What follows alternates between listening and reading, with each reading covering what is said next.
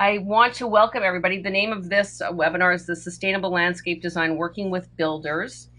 And um, it's really uh, one in the series of, uh, uh, uh one, one of the webinars in a, in a series called A Focus on Sustainability. And a little bit of background is that uh, there's a bunch of ecological organizations that got together to try to put together this uh, series of webinars. Uh, and all of these groups are actually really well known in their regional areas, and they're really well known for their education. They're, they're nonprofits, mostly volunteer, uh, you know, organizations. And we got together and we really said, how can we kind of extend that um, educational reach? And that's kind of how this whole series came about. And in case you're not familiar with them, I, I, mentioned the organizations are the Ecological Landscape Association, which I'm part of. That's mainly in the Northeast United States. The Chesapeake Conservation Landscape Council, which is in the Washington, D.C. area. MILA, which is the Midwest Ecological Landscape Alliance, and the Eco Landscape California, which is, is in the West. And it's been wonderful to have that all those groups work together. Um, so this is really our first, um, you know, first take at uh, doing these webinars. So uh, we really appreciate that you guys are, are, are on the, on this. And um, I guess what I the first thing I want to do is tell you is that like, some of you have found the question uh, section in your panel on your control panel, but panel, but that's where you guys will be feeding us questions, and uh, we will have the you'll have the opportunity throughout uh, at points in the webinar to ask some questions. So um, you know just locate that and make sure that you kind of are familiar with that. Um, so let's get started. Uh, the first thing I want to do is really introduce our speaker, uh, Asia Scudder. I met her uh, probably a year and a half or so ago, and um, she she um, is has a really a great background in ecology and a 20 uh, 20 year career, 20 plus year career in landscape design. So we're very excited to have her with us tonight. Um, her specialty is in creating habitat for wildlife and she she works a lot with clients as probably a lot of us do to really help them understand how to succeed with native plant gardens and that's kind of her specialty and you'll hear hear more from her um, and about herself and her background as well in her presentation. So i am going to pass this over to you asia.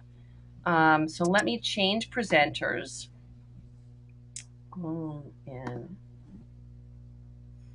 and you should see a prompt Asia on your side to um, make yourself to so people could see your screen. And um, okay. do you see that? I do. Thank okay. you. Okay, super. So we see um, on our side.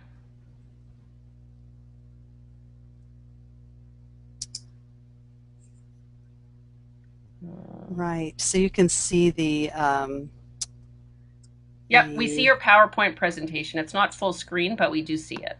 Or, I mean, at least I see it. Okay, let me go ahead and I'll put it on the. Uh, okay. There we go.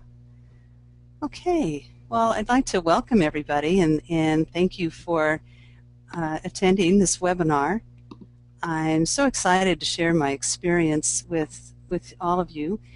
Um, I've had a long career in working with builders um, with sustainable landscape design and that's been um, a, a, learning, lots of learning curves involved in uh, learning how to communicate and be um, present and ready for a lot of unexpected turns and twists. So um, I was trained as a traditional landscape designer and, and with my background in ecology became more interested in uh, creating landscapes that were suitable to these I mean, I'm glad are new trends in, in sustainability. Um, and I'll tell you more about my company and and what I've learned. And we're going to give you guys lots of opportunities to ask questions. But uh, first of all, I'd like to go ahead and ask Risa to launch a, a quick poll because we, we want to know more about um, each of your backgrounds. And that'll also help me kind of tailor some of the comments that I make as, uh, as we do this presentation. Okay, so everybody should be able to see the poll. Um, okay, well, let me hit submit. Oh no, you should you should be seeing it. Okay, so everybody, yeah, this is a way for us to learn a little bit more about who's actually in the webinar, um, which was Asia's idea, which I thought was great. And um, so you know you can check off. Um, I think, multiple answers. And so um, once now, can you see the poll, Asia? I can't remember. Um, actually, it says here that the organizer must close the poll to enable screen sharing. Oh, okay. So once you guys answer the poll, um, then I will close it, and then you'll be able to see it, Asia. So, okay, uh, so we have uh, most everybody has voted, and uh, one of the things from the first webinar we ran, this is the second one, was that people said you close the polls too quickly. So, I don't want to close them, but we also didn't want to have sort of dead space in there. So I will give everybody a bit more time to to um, to answer the questions, and um, I guess people needed a little bit more time to actually read everything that was in the polls. So, oh, good. Okay, so we almost have almost 90% of people have answered, so that's terrific. So I am going to close the poll now. Um, and I'm going to share the results. So you should see that now, Asia. Do you see that? Okay, I'm looking, sharing poll results. Um, okay, no, I actually I don't see it on my on my screen. Oh, okay. Well, I'll let me. I guess then. Um, why do I, why do you not see that? Okay. Well, I will. Um, well, let me tell you what the answers were then. So apologize okay. for this. We're just getting used to polls, but um, so 29% of people said that they own their own design build landscape companies. Um, mm-hmm. 55% said that they're landscape architects or landscape designers. So that's a good good chunk of people. More than half of the folks are architects or, or designers. Um, 63% mm-hmm. have said they've worked on sustainable landscape projects. So that's that's a lot of you guys obviously are working on some really good, you know, great projects. And only 13% said they work with builders regularly. So a small percent. Um, so so then I guess you know you probably have a lot to share with them. that's that's great. Well, that's that certainly gives me um, a good indication of where where you all are in in um, in the world of sustainability, and it certainly is helpful. I'm going to give you um, a quick background on um, on my business and my company. Okay, I'm going to hide. I'm going to. Sorry to interrupt, Asia. I'm just going to hide yeah. the results because I think um, everybody should pretty much go back to seeing your screen. I'm sorry, I had to hide them to get your screen back to show everybody. So now you're all set. Okay, and actually, now that now that we're ready to get started, Risa, I'm just going to have you run one more poll, and if you could, just run the, the poll on those five questions okay. that are sort of general questions about um, the building industry and um, this, the actuality of putting in native plants um, and other types of sustainable ideas um, in a in a commercial landscape. Okay, yep. So I just launched it. Everybody should sort of see that as well now. Um, and all in progress, yeah. Okay, great. So everybody should, I don't see, oh, people are starting to vote now. So, okay. and um, I guess what I'll do for you, Asia, because for some reason, I'm not sure why you as a panelist don't see the poll, but we'll figure that out for next webinar. But I will mm-hmm. read you some of the answers as people vote. But um, this is, uh, it says, which one of these is true? Um, or there's could be multiple ones that are true. So the ones that are true, you should be checking off. So I don't know if I worded that correctly, but what it means is, you know, check all the ones off that you think are true. Um, and um, so it will be really interesting to see what you guys think. And so we've got a good chunk of people that have uh, voted. Um, and um, I will let you know as soon as uh, it's finished. I'll close the poll, Asia, and then I'll tell you what everybody's answered. And this okay. can sort of set you off now on your on your webinar. okay, this is great. Thank you all for your, your patience, and um, it's good to know um, as we're participating online, it's it's difficult because of course we don't have eye to eye contact. So this gives us an opportunity to get to know uh, know you a little better. Um, okay. So I'm going to close the poll now, and I'll share some results. So so pretty much, okay. Let me read this to you, Asia. So 76% of people think that the trend in the building industry is to be more sustainable. So that's a good percent of people. 0% think contractors are using sustainable practices are easy to find. that's pretty accurate. Yeah. Um, 84% feel native plants are attractive. And I'm in that group, I could tell you. Um, 46% feel that native plants require little or no mowing, weeding, and watering. So that's a lower percent. Am I saying these mm-hmm. too fast, Asia, or you got it? Oh, you're good.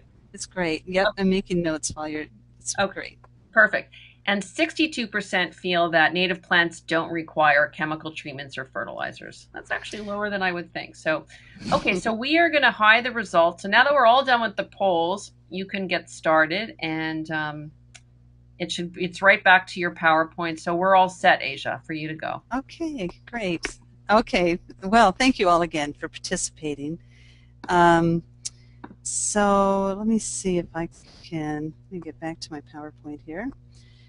So first of all, just very quickly, my company um, is Native Landscapes.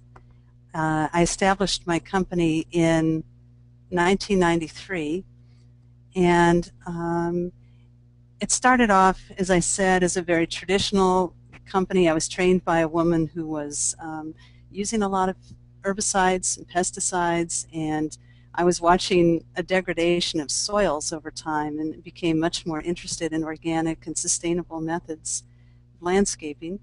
So um, I began to create and install very conventional residential designs with organics and mixtures of native plants and traditional uh, horticultural variety greenhouse plants.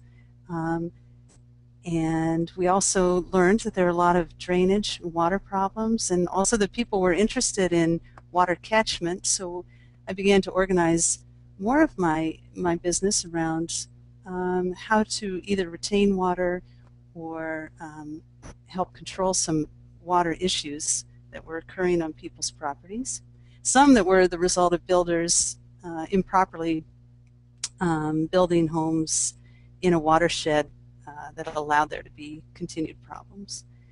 Um, we've created lots and lots and lots of natural stone patios, walkways, garden borders, um, very um, prominent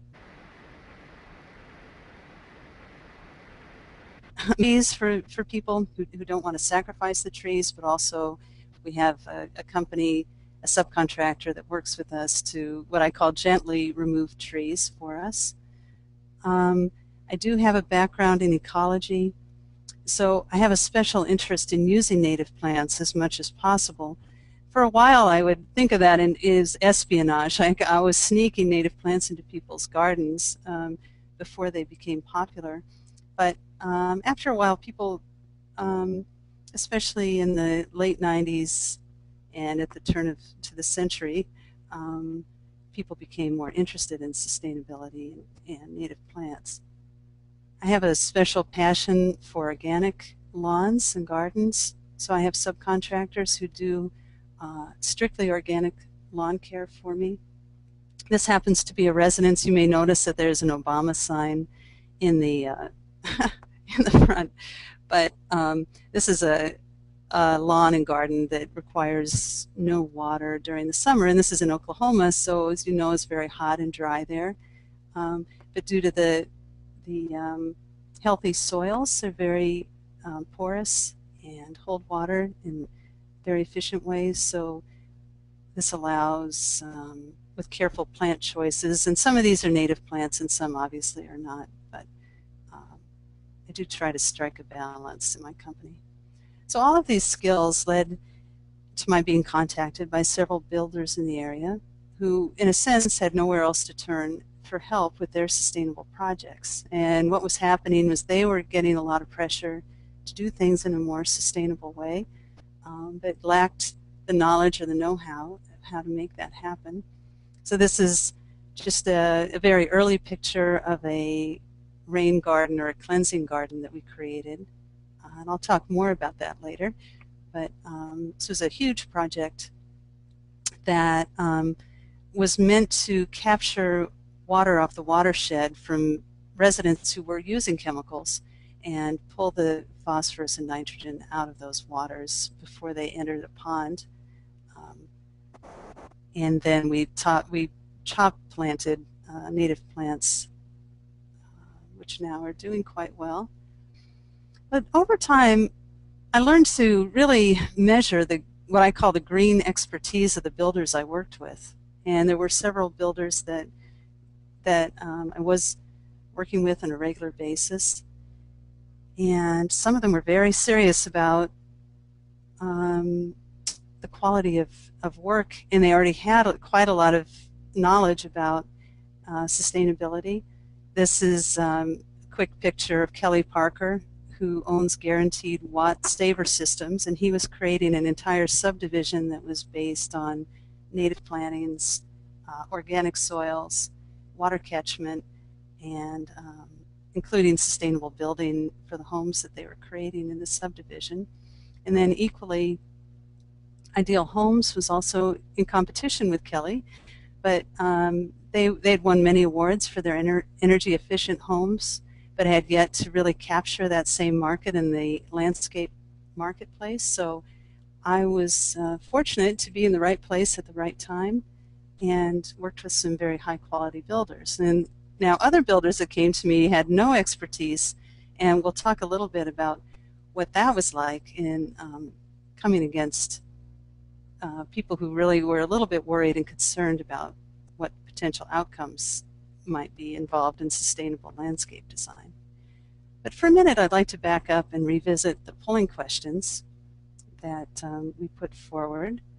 So the first one the trend in the building industry is to find ways to be more sustainable. Well, so certainly the building industry has improvements to make in their understanding of the benefits of sustainable building practices.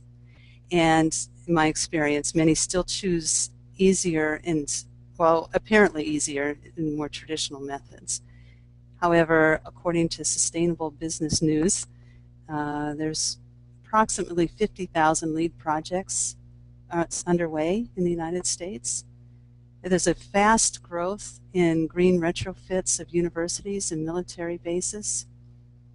And there's certainly predicted to be a greater focus on water reclamation and reduction of use of water across the country. Uh, the second question, contractors trained in sustainable practices are easy to find. Well, as, as the poll showed, right, my experience has been that contractors and sustainable landscape practice are difficult to find. And finding them is good, but then I also try to let people know that there's quite a lot of time for training um, subs who maybe have built their own uh, style of working in their own traditional ways um, so I do, I'm, I'm pretty finicky on a job site, and I, I do have a lot of um, guidance, and part of that is because I do want to gain the reassurance of the builders that I'm working with. So I want to be sure that my contractors are um, doing a good job. So this happens to be my daughter, who's uh, she doesn't look too unhappy working unloading compost from my truck. Okay, the um, third third question, native plants are attractive. So I would say that's a matter of perspective. That native plants do indeed provide a diverse habitat and attract many insects, butterflies, and birds. But sometimes, from a builder's perspective, the flowers can be smaller and less showy. So I try to um, to reassure a builder by letting them know that the blooms do last longer in my experience, and um, that that in the in the, my design process, I design plants to um, to have a um, uh, a big impact. So sometimes I will plant um, annuals in with my native plantings to help offset that that smaller bloom. And then the fourth question, native plants require little or no mowing, weeding, and watering. Well, that can be true. Um, this was a yard that um, it had been a, a, lawn, and, and the owner asked us if we could remove the lawn and, and put in all native plants. so we did that for him. Um, and we used organic fertilizers, which I'm not sure how many of you have had this experience, but the plants really took off rather quickly. So these these plants in a matter of six months went from being either one or three gallon containers to being pretty uh, voracious growers. So we had to come in and um, do a little bit of uh, pruning and, and weeding and care. Um, it was actually kind of unexpected for us too. Um, and then also, I try I do try to let my builders know that um, the establishment time for native plants can be a little tricky and requires a, a little bit more hands-on um, care and watering. And then the fifth question, native plants do not require chemical treatments or fertilizer. So I, I would say that's true, that native plants can easily be grown in non-fertilized areas, and an organic chemical-free garden will produce blossoms throughout the season. And this is just a very simple garden with native phlox, moonbeam coreopsis up front um, that did indeed bloom in Oklahoma. That would bloom from May through November. So um, before, okay, so before I go to the next slide, I guess I'd like to, Risa, just take a minute and stop and see if there's any questions at this point.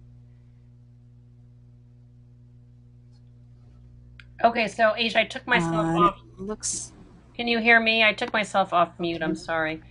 Um, okay. Oh yeah, I can hear you. Mm -hmm. So um, yeah, if you folks have any questions, send them along. Um, I just sent um, a, a, post by John, John Gishnock, I hope I pronounced that right, but he was talking about the fact that using native plants, you know, like sort of designing beyond the bloom, which I know I did a lot when I did, um, you know, did design gardens with native plants, but you're talking about convincing people about the form and the texture and the lasting seed heads and fall color, which those are, I always used to say that native plants really adapted to our seasons so much better. So they always had sort of a four season appeal oftentimes. Um, so, you know, that's probably another great way to pitch native plants beyond the bloom. But, but what happens, I think, is that a lot of times people um, are so used to seeing those big blooms like that that that's what they want, right? Mm-hmm. Right, and and with builders who have pressure, uh, for instance, when I worked with Ideal Homes, the average price of their home was about three hundred and fifty thousand dollars. So they had clients who were or homeowners uh, who not only appreciated but rather expected to have quite a nice entry. Yeah. Um, when they came in, so um, promising, you know, this sort of being careful about making promises about the appearance of things. Um, but certainly, texture is is um, really vital and, and can play a big role in in creating some of those bridges seasonally. Yeah. yeah. So, and then Diana mentioned pic, pycnanthemum. I, I, never get that right, but if you're talking about the the mint, which I love, that that that native mint is fantastic. I have that in my garden, and grasses also native grasses. There's a lot of mm-hmm. appeal for those too. So, yep, Diana said, yeah, that that that Pycnanthemum muticum, but I love that plant. So, um, it's a challenge, and I think the more that you know about plants, and the more of the like like you know, if you study native plants, our palette and understanding what the palette of native plants are is much larger than probably the average traditional builder, even, you know, so that really helps. Um, there doesn't seem to be more questions either, Asia, so I think we're, you know, we're good. Okay. Okay, that's great. Good. We'll, we'll move right along here. Um, so. so, just sort of in summary, I'm really upfront with all of my clients and I do let them know that uh, maintaining a naturalized area requires special training of lawn and garden crews. So, for instance, when I worked with Ideal Homes, um, their crews were prone to pull out all the perennials in the spring, especially thinking that they were weeds. So I would have to um, orient them towards um, the the you know it's sort of like every season I had to be on site to, to train to train them or bring in my own people which could be more expensive so often there was a, a little bit of a negotiating process with the builder depending on um, how much money they felt like they had to spend. And um, but it, I could say that honestly that was a little bit of a frustrating process. And um, there are often times where the builder would just give up and say, forget it, we're just putting in pansies or we're just putting in mums and never mind. We don't want to deal with all of this, um, you know, having to replace plants that were inappropriately pulled or something. So um, it took a, a, quite a lot of consistency, and we'll, I'll talk more about that here in a few minutes. Um, I also let my my clients know that there are times of the year when a natural garden can look less than professional. And of course, as we've said, I do my best to, to create bridges through the season so that there is some of this texture or architecture or using other plants that may be not necessarily purely native. Um, as I said, I have a, a background in ecology, so I came into this world, into the landscape world with the knowledge of seed collection off wild prairies and being careful about genotypes and all these things. So um, I found in landscaping it's difficult to stay true to all of that. Um, and especially when working with the builders, um, I have I also learned I have to make some concessions. In other words, um, and that seemed to work and seemed to kind of help build bridges with with them, and they were more willing to go a little further with me every season. Um, so then the other point is that some plants can be difficult to get established and have special needs in the first months of establishment. So that is a matter of learning for myself that I need to charge a little more to allow for my time to go and check on plant materials. Um, and then the last point that native plants benefit a wide range of organisms and do attract a diverse animal population and I'll talk more about that also, but there certainly were builders that were less than happy with some of the animals that showed up in uh, some of the, the um, wild areas that got planted. Even though it's what they had approached me for and asked me for, then there were complaints in one case that there were too many salamanders um, on the sidewalks, or, you know, I don't know, people got nervous about having animals around there in the neighborhood. So what does this all really have to do with working with builders? And um, what about the positive features of a sustainable, natural, organic landscape? So just to kind of segue, many builders new to sustainable landscapes, in my experience, they voice concerns with me that, that green may be more expensive than traditional landscape construction methods, as we've said, that unwanted animals may be attracted to the site. And if there's a lack of ex expertise in the subcontractors, then maybe there be there might be uncertain results. In other words, who's going to install and maintain a specialized sustainable garden? So let's answer some of these concerns. What about the cost? Let's talk about that. So generally, my cost, my experience has been that green materials cost about the same or less than conventional materials. And especially this is true when looking at use over time. And those of you who are um, in the sustainable field know that natural cycles really do replace the need for addition of expensive fertilizers. And really, um, as the plants reach maturity, there's very little maintenance that's needed. Um, and maybe a, a, twice a year maintenance need, but there's not that uh, weekly need, for instance, in mowing a lawn or, or doing um, heavy trimming of boxwood shrubs or hollies. Um, and so let me go through a couple of these and then we'll take another break for questions in a minute here. So then the question for builder may ask, do natural plantings attract unwanted insects or other animals? And I would have to say that you know the question is is you know what is an unwanted animal? Um, I did a, a complete um, soil amendment for um, a very prominent landscape architect in Oklahoma City, and the, the grounds looked absolutely gorgeous, but it attracted a whole a series of new animals to his yard, including moles. Um, so he was having lots of mole disruption in his lawn, and um, other kinds of bees and wasps and um, squirrels. There was just a whole influx of wildlife, which he was a little bit unsettled with. And so much of that is a matter of perspective and learning. Um, one of the things that we did do at Ideal Homes when there was um, this um, problem with salamanders is we put up uh, learning um, boards for people who were walking along the sidewalks so they could learn more about the benefits of, creating homes and habitats for, for the wildlife. And that seemed to help, um, just this, a little bit of education. And then it was something they were proud of instead of feeling aggravated by. And again, just an added note that um, it's good to factor in added time to train subcontractors.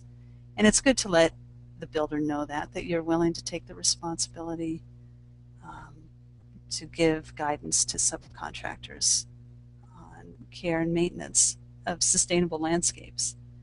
They really are so much different. I mean, I, I really see them as being um, a completely different mindset and a, a completely different way of, of, planting, which I'm sure many of you would agree agree with that. Um, so let me pause there, Risa, and go ahead, and I'm going to go ahead and, and, take another break for questions to see if anybody, since we're online, I'm just just kind yeah. of want to get a rating on where people are, if there's any questions.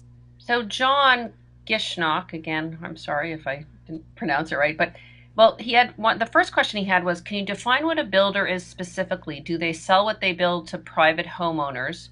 And he's just talking about, are you talking mostly about residential builders or uh, versus probably commercial, obviously? So, but you your experience is mainly with residential, I assume.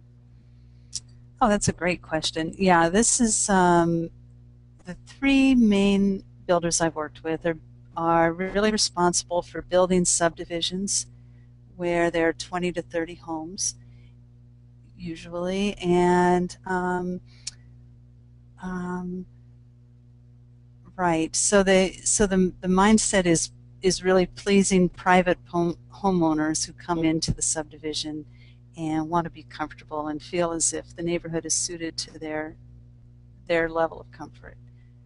Well, because he he wanted to say he wanted to know if builders ever refer you right to the client, but it sounds like you worked with like so that you would have a direct relationship with the client. Um, but it sounds like you are you worked mainly with people that were kind of doing new developments. Maybe the homes weren't even sold at that point, right? Exactly. Yeah, that's right. And and um, that's right. And even in one case, um, again going back to Ideal Homes, they were trying to sidestep some of the use of um, Bermuda lawns or other kinds of lawns, mm-hmm. and replacing that with buffalo grass in Oklahoma. That that works fairly well, but um, they were trying to do that before the homeowners purchased and moved into their own homes, so that those were established, so there yeah. wasn't um, uh, a question about the lawns.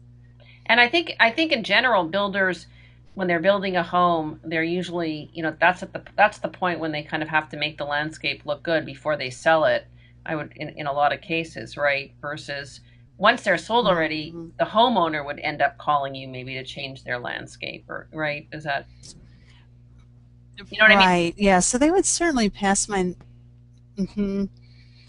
Right. So they would pass my name on to the to the landowner, um, but honestly, often, in my experience, these were people who were kind of um, in and out of their homes, going to work, traveling, doing things. They were they were pretty happy as long as the landscape was established once they moved in. There wasn't a lot of changes in my experience that they wanted to make after at that point.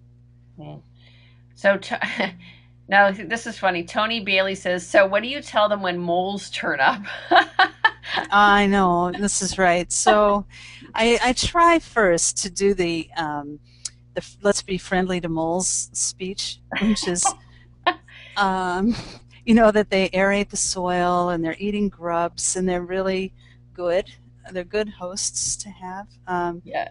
and if that doesn't work, then we use castor oil to um, just spray on the surface of the soil, and the moles don't like the smell, and they go to the neighbors typically.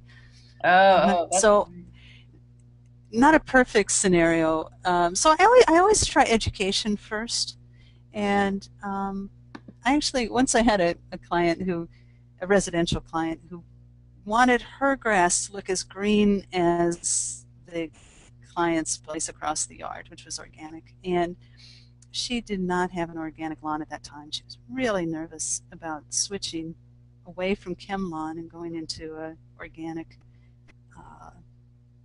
treatment. And and she was part of what she was worried about was moles and, and other kinds of animals that would come in.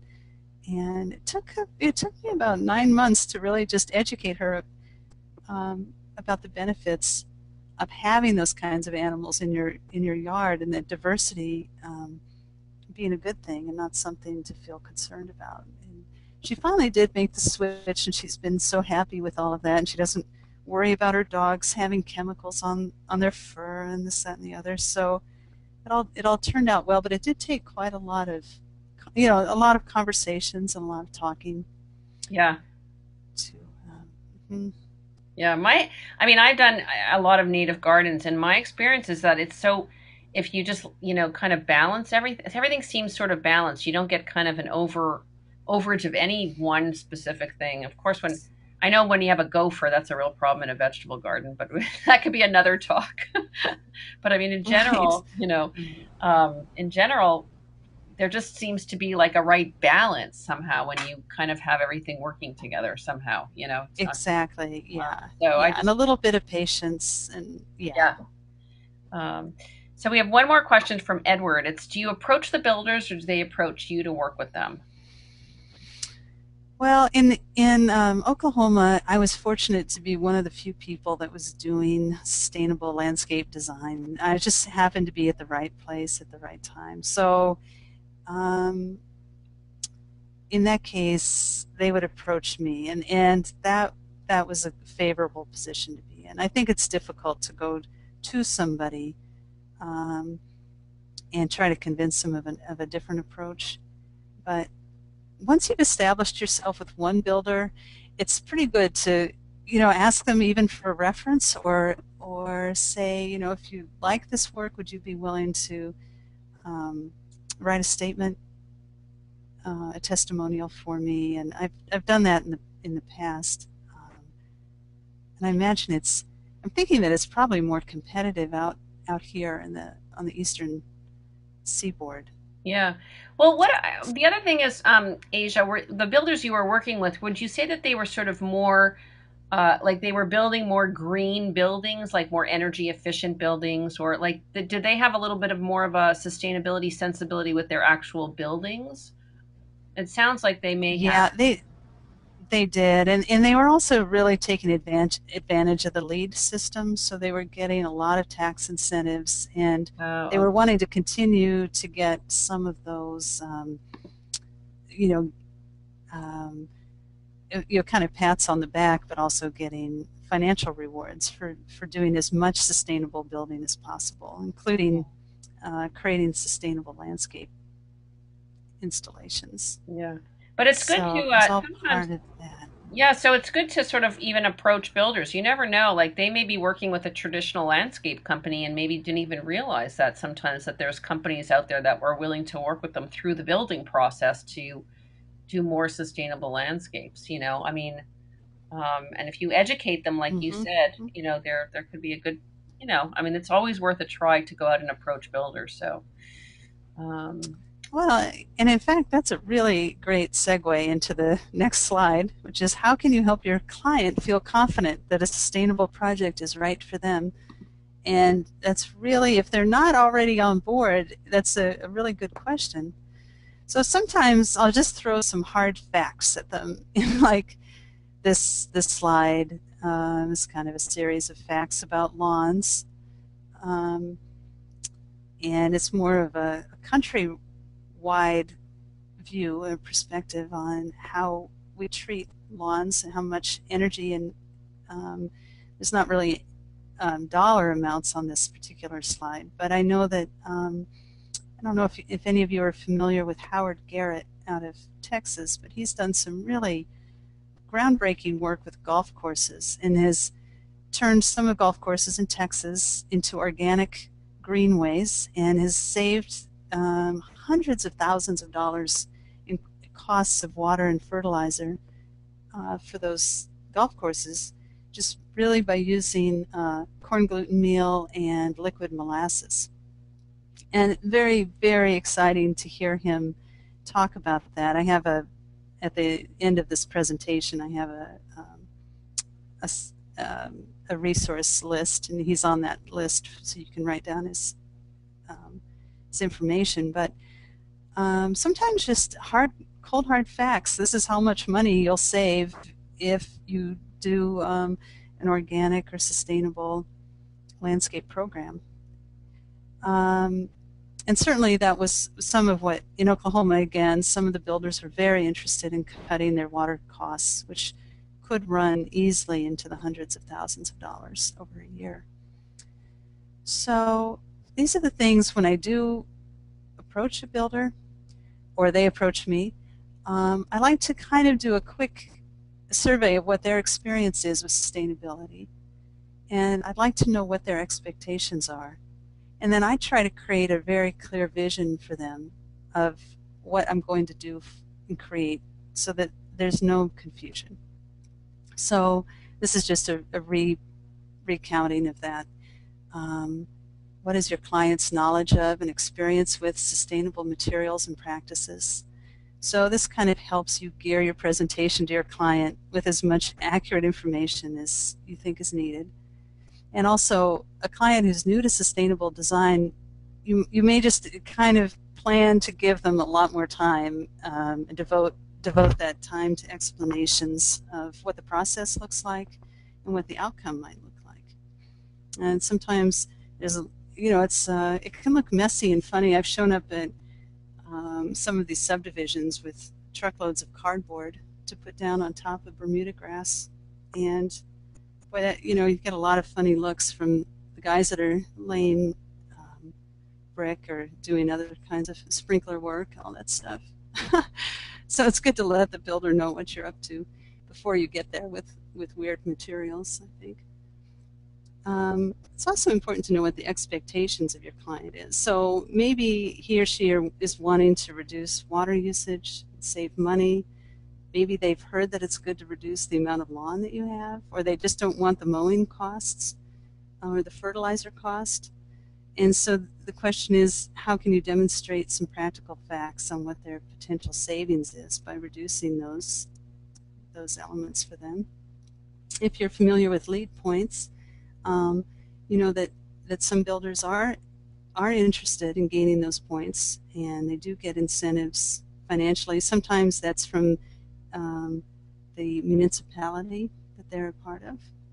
Um, and then they may actually have a, a, true concern about the use of pesticides and herbicides, which is great. And if they already are thinking in terms of the ecology, I think you're a step ahead with them. That's good. Um, also, their timetable and what their budget is. Um, sometimes, my experience, these sustainable designs are a bit more um, hands-on, a little more work. Um, they're time-consuming. It's not like the crew comes in with a big truckload of um, uh, boxwoods and hollies and hostas, puts them in in a day, and it's finished. A, so it's good to know if the builder has a timetable and let them know it may take um, longer than what would be a normal or standard traditional landscape installation. And then also, you know, you may not ask them this straight out, but you might, um, wondering if they're interested in having a reputation of being recognized as a green builder.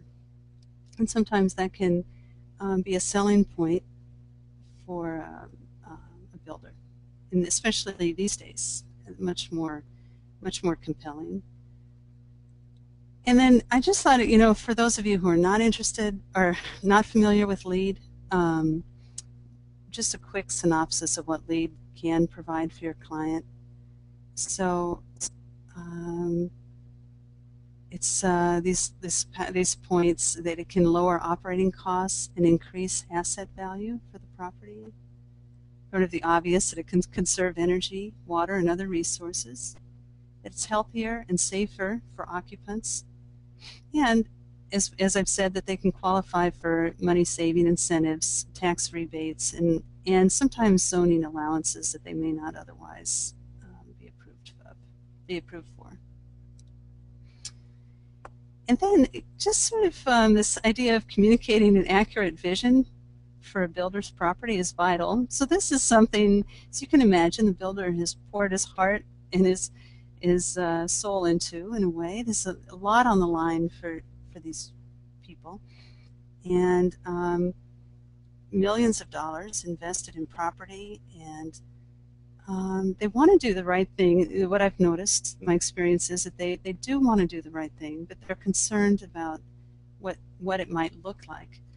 So if I say to a builder, look, you can use native plants and have it designed with an outcome like this, and I tell them that it's native plants, sometimes I think in their minds they think it's going to look like this, and it's going to be um, a disaster. And all they hear are the complaints of their homeowners, wondering why things look so weedy and brown.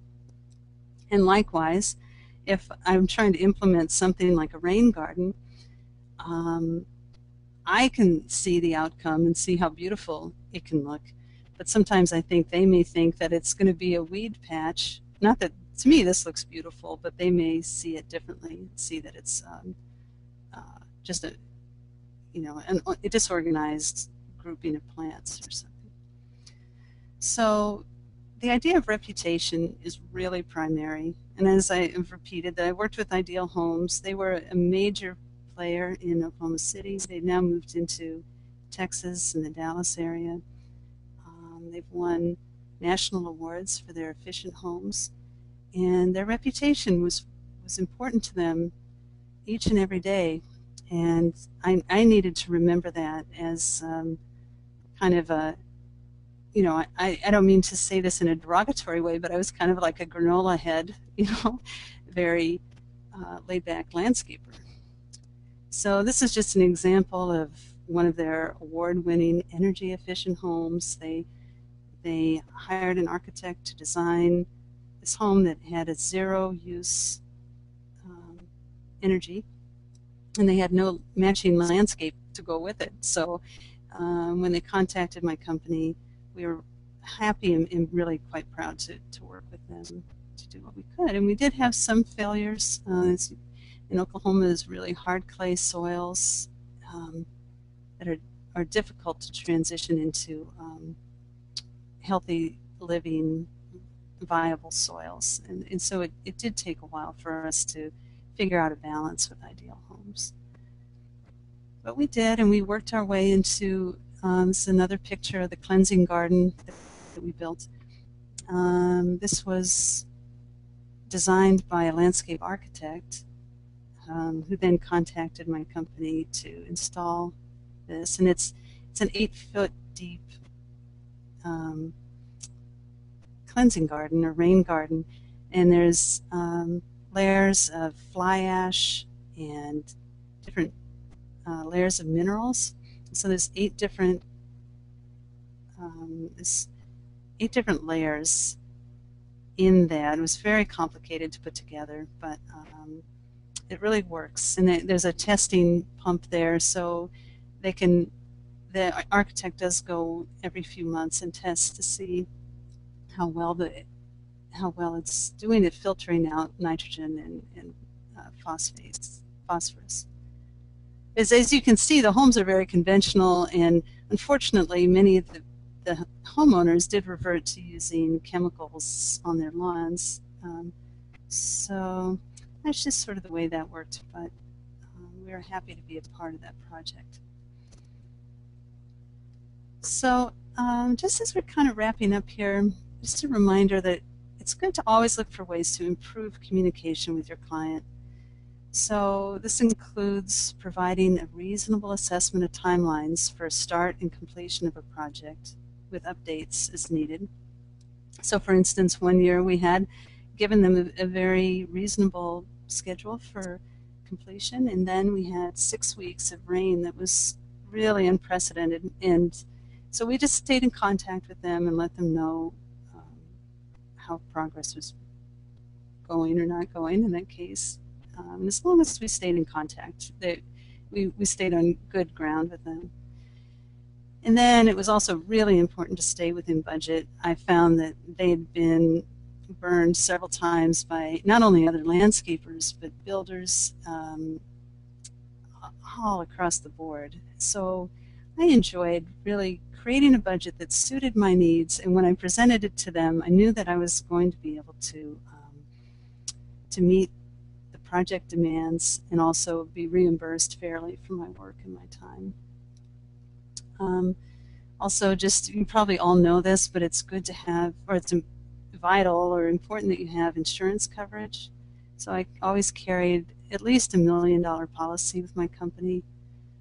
And some of my subcontractors also had insurance, but some of them didn't. And so I would be sure to write in um, a sub policy to, to cover uh, anyone who was working under underneath me. And not always, um, but sometimes I would create opportunities to make a formal introduction of the subcontractors to the builder. Some municipalities that are doing quite a lot to um, create urban sustainable ecosystems. And some of those are rainwater catchment systems, and others are, are just xeriscape plantings or using um, uh, less lawn or organic fertilizers.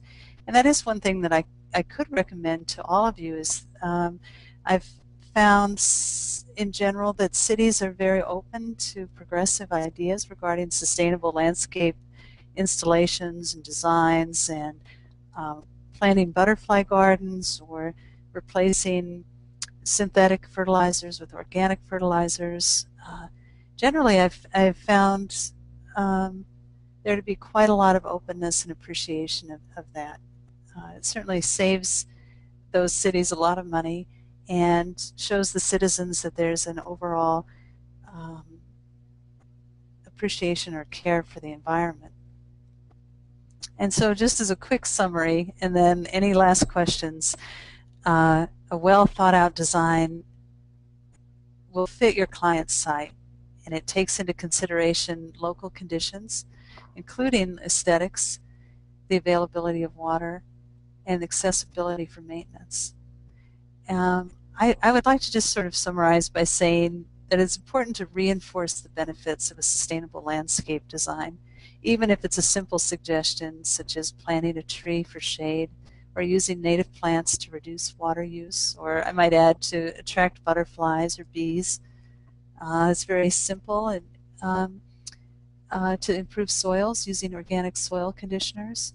And there certainly are lots and lots of uh, resources available for um, water saving ideas.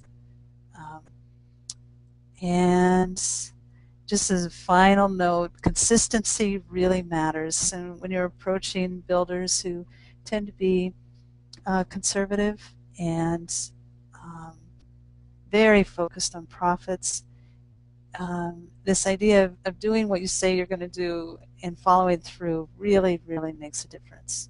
And sometimes that can win out over other competing landscape companies who may be traditional and non-organic or non-sustainable, but are, are not as uh, reliable. So um, when you do start working with builders, be sure to, to, to follow through and be consistent and here's just a few um, sites. I've included the ELA, but the U.S. Green Building Council and um, Howard Garrett out of Texas, who's done incredible work at um, entering into commercial industry with ideas of organic um, soils, native plants, pesticide, organic pesticides and herbicides. He's really, really, really dug his feet in, so to speak, and, and done quite a lot of work. Um, and then just as a final slide, if you if you'd like, here's some examples of ways to achieve LEED points for new landscape projects. And with that, I'm going to open up to questions.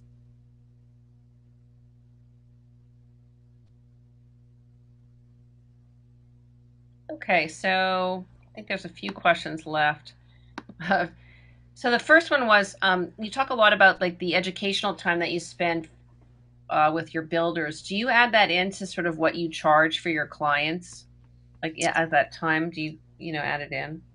I I do add it in. Um, I it depends on the builder. Sometimes um, I will let them know exactly what the consulting fee is. Um, one in one case with uh, guaranteed watt systems, I did um, a, a, really a seminar for a group of employees, and so I did let them know what I would charge charge for that.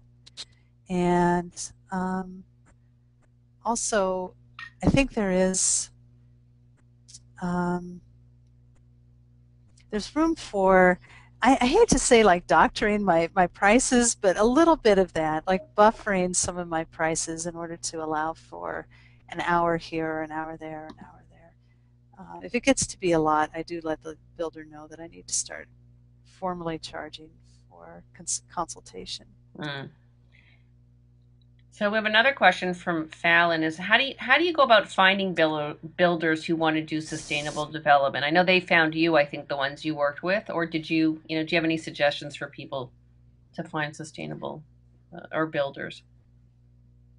Um, yeah, I have um, just recently. Um, I I have just relocated to the East Coast, and I did approach um, a business, not necessarily a builder, about their um, landscape.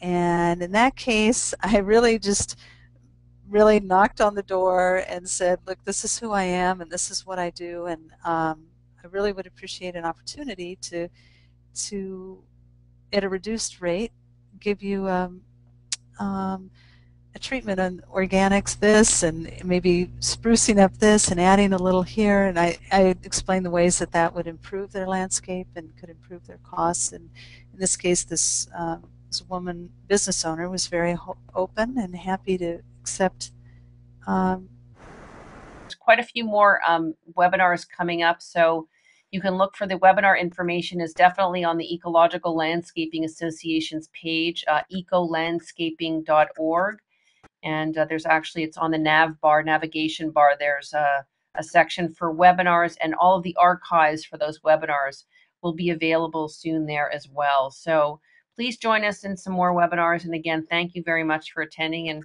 i hope you guys have a have a good evening. Good night